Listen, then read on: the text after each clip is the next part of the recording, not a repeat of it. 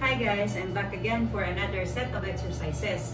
So sa wala pa nakakita sa to ang previous uploads, nakahuman na ta o arms and legs exercises.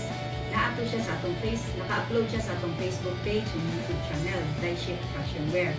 And this time, mag-focus na po ta sa atuang likod para sa mga mag-backstab sa tuan na ata dayon ikasukol, ikasukol. Atik lang. So, ang atong first exercise is single dumbbell rows. Rows as in bugsay.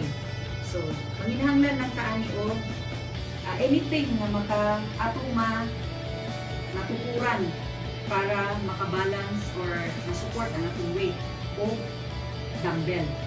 So, sa again, sa mga walay dumbbell, kung di rin ako mag-improvise o mga basyo sa tubig, tapos may mo na to nga uh, dumbbell. So, ani ha, 12 counts sa isa ka set. So, ani ang position niya. Uh, i-bend na to ang atong tuhod gamay. Itukod ang atong left arm. Tuhaon ato ang dumbbell. And start. One. Muratag nagbuksay. Two. Three. Four. Five. Six. Seven. 8, 9, 10, 11, 12. So, maiguan niya ang right side sa tuang. So, ikasta na side. Okay?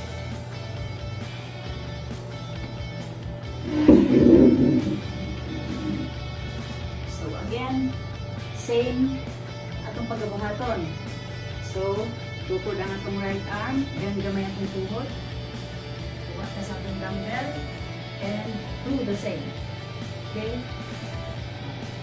One, two, three, four, five, six, seven, eight, nine, ten, 11, 12.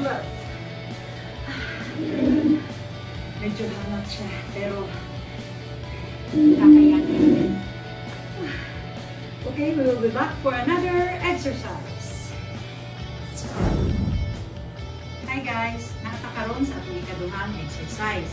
Ang tawag ani uh, reverse dumbbell flies. So, this time, Dili ko magamit og dumbbell kay bukat na tayo siya para kaning exercise. So mag-improvise ka. Instead of using dumbbell, magamit ka og bottled water or any basiyo na pwede na tuutan ng tubig na mahimo na itong dumbbell. Salamat dahil sa ato ang donor. Pero, dili pa na pwede i-mention ang name kay wala kami nagpirmahan na Okay, let's start. Ani lang siya. Stand straight. Buka gamay. Bend ang knees. Bend atong back. Arm straight. Mura ka naglupad. Okay? One. Two. Three. Four. Five. Six seven, eight, nine, ten, eleven, twelve. So, iguan yan ang likod. Okay guys, let's take a short break and balik ta para sa ang last exercise. Guys, naata sa atong ikatulong exercise. Ang tawag ani double dumbbell rows.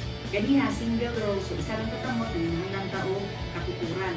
This time, dili na katungan ng itukod. Duwa lang kadumbbell kay mabalance man ito lawas kay buwa man sabay. So, position ta.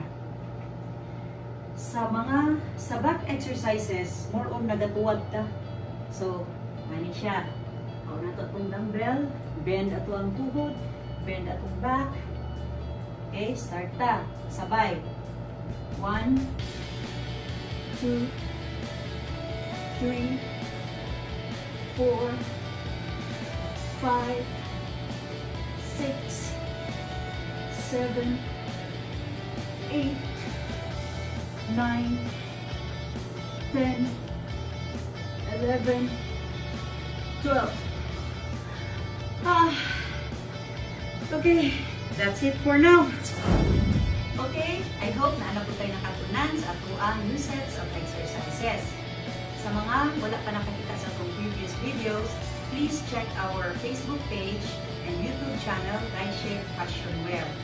Please watch, like, and share our videos. Sa akong mga resellers, hapit na yun siguro ta magkita-kita. Amping mga langga!